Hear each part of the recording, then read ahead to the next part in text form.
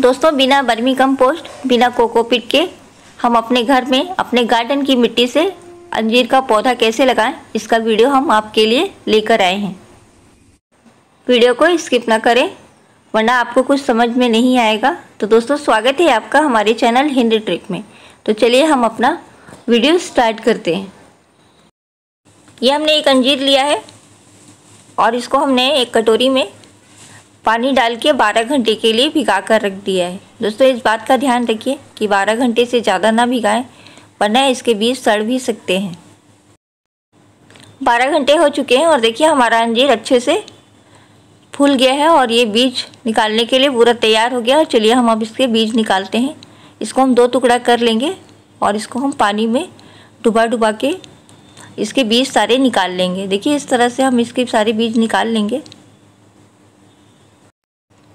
अंजीर का पौधा लगाने के लिए ये बीज तैयार हो गए हैं।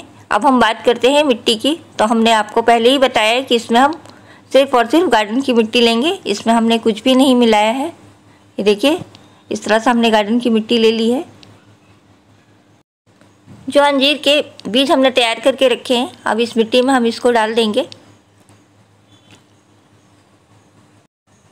देखिए दोस्तों, हमने सारे बीज इस गमले में डाल दिए हैं।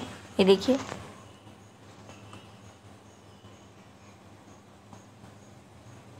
सारे बीज डालने के बाद हम इसमें एक मट्टी की लेयर चढ़ा देंगे। इसमें हम ज़्यादा मोटी लेयर नहीं चढ़ाएँगे, नहीं तो बीज अच्छे से उग नहीं पाएँगे। अब इसमें हम पानी स्प्रे कर देंगे और इसको ऐसी जगह रखेंगे जहाँ पे ज़्यादा धूप ना पड़ती हो और हर दूसरे तीसरे दिन हम इसमें पानी डालते रहेंगे। दोस्तों, बस आपको एक बात का ध्यान रखना है कि पानी इसमें स्प्रे करके ही डालें पक्के से ना डालें वरना आपके बीज मिट्टी के अंदर दब जाएँगे और ये ठीक से उग नहीं पाएँगे।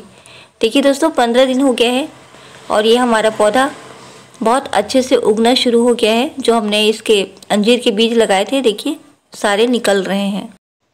एक महीना बाद देखिए अंजीर के पौधे बहुत अच्छे से लग गए हैं और ये थोड़ा बड़े भी होने लगे हैं। आप इसको निकाल के कहीं पे भी लगा सकते हैं। यदि वीडियो अच्छा लगा हो तो लाइक, शेयर और सब्सक्राइब करना ना भूलें। Thank you.